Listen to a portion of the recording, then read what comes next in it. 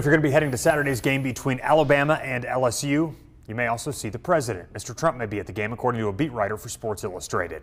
The game, of course, is a potential matchup between the top two teams, depending on tomorrow night's initial ranking from the College Football Playoff Committee. We'll, of course, keep you posted on that potential upcoming visit. Meanwhile, in Washington today, the Nationals visiting the White House celebrating their World Series victory. The president and first lady you see right there welcoming the team and congratulating them earlier today. The Nationals beat the Houston Astros last week, claiming the first World Series title in franchise history. Ryan Zimmerman, who has played for Washington his entire 15 year career, presented the president with a jersey.